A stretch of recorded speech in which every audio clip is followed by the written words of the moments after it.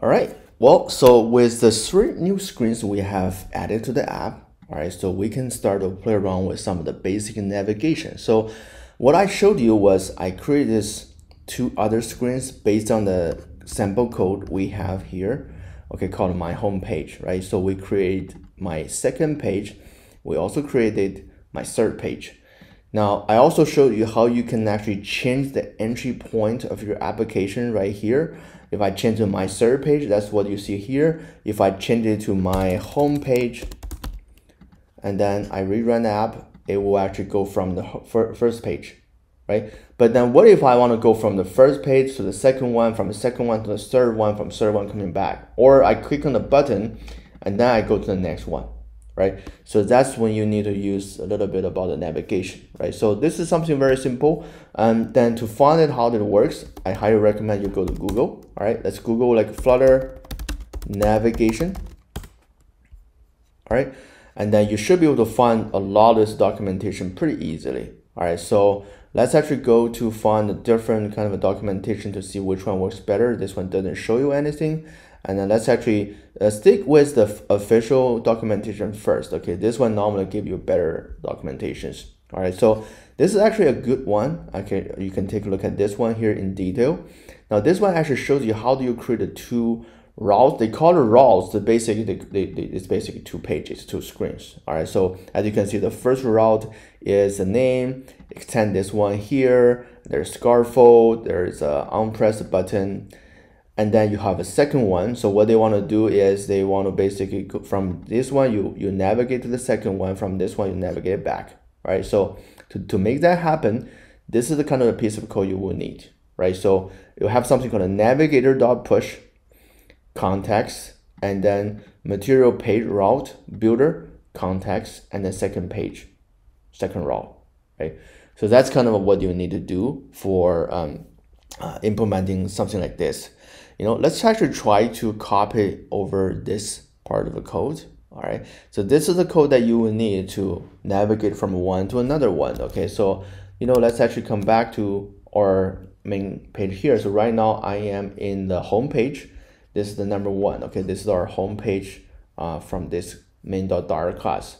So let's do something very simple. I click on this button right now and maybe I want to click on the button, increase the number, and then immediately actually go to the second page, right? So to do that, we need to find out where our code is to do the button listener. This is under the floating action button.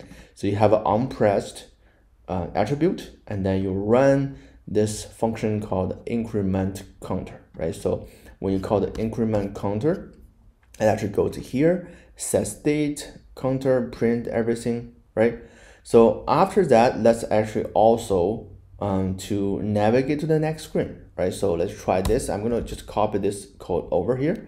This is the code again from this browser here. Okay, so we found out this um, reference. All right, so navigator dot push context. Let's not worry about all of this. And then you use the material page route. That's probably a way to do the material page routing navigation. Builder context. And let's not worry about all of this. And the final one is something called a second route. That's actually the name for your uh, second screen, the screen you want to go, the destination, right? So for example, I'm gonna do my second page. All right, that actually is gonna finish this navigation. So let's actually refresh the code to see if that works. All right, so I rerun that, the code. All right, so I'm gonna click on this button. All right, so the moment I click on the button, you see this little error here, okay? So this is the first time we've seen an error. So I just want to point it out that if you see this red screen, obviously you know that something is wrong, all right? So whenever this one happens, you know, don't be panic. You know, read a little message here and then also go back to your IDE to find more logs uh, down here, okay? So this is kind of what error happening. It said that a string, a non-null string must be provided to a text widget all right and then some of the code here and then you go down here. Uh, that's actually your code right? So you want to click on this one here to see where through that that arrow. So looks like the arrow come from here. All right maybe that doesn't make more sense. Actually you go to trace the arrow. You click on this one here and you find out well this one actually is not our code. This is the library code. It just shows something is null right now right? So let's go next one. This line here. This is our code. Oh actually looks like this is the part that threw this error and then this is actually in the second page where we build the UI we have a, this text for the app bar. Remember the app bar does the title thing and that actually looks like it's through the error. So based on error you can understand that this one may be something about a string to be empty. All right, so if this is a line, then maybe this title is empty, is, is null, right? So anyway, to do some kind of debugging, and then you probably will actually figure out that maybe this is because the title, for some reason, is null, right? So where the title come from, and you can actually find, actually it's coming from here. So this is the title, where did this title come from? It come from a constructor. Okay, so now you go back to the code. Now let me first show you that in the initial code right here, when you start a new um, page, uh, you call this class name, but you also pass this attribute called title, and then you give this string, right? So that's how we can start the, the pages in a general way. But here where you do navigator, okay, we're not really adding the title and that's why the title is null um, but the null is not acceptable here because we are expecting some kind of title so to fix that error so I need to go here to add a title I will just do this one called my page 2 number 2 my page number 2 all right. Let's see if that works. I'm gonna refresh the page.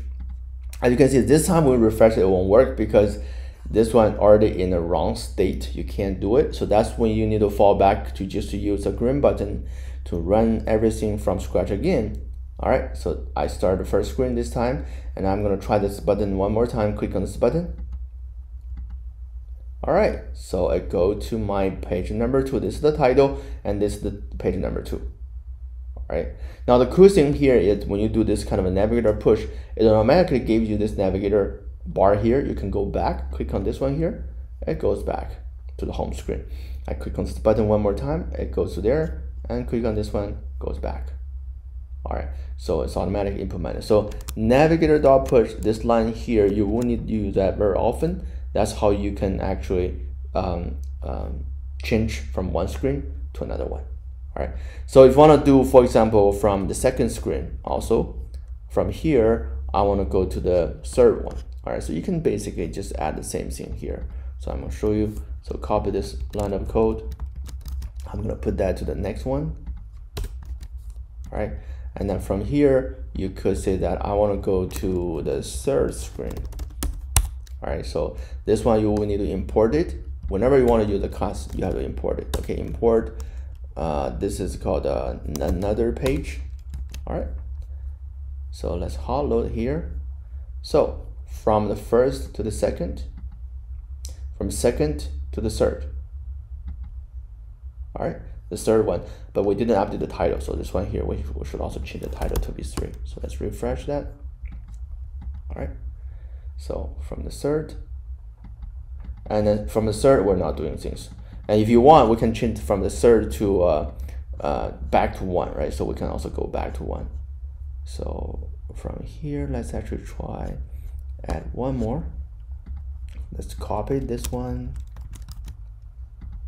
and put it back here my home page right so if you use the auto completion feature it's going to automatically import that code for you from the main dart right here right so now the title here is called my home page all right so let's refresh everything so to try this i'm going to go back home screen, page number two, page number three.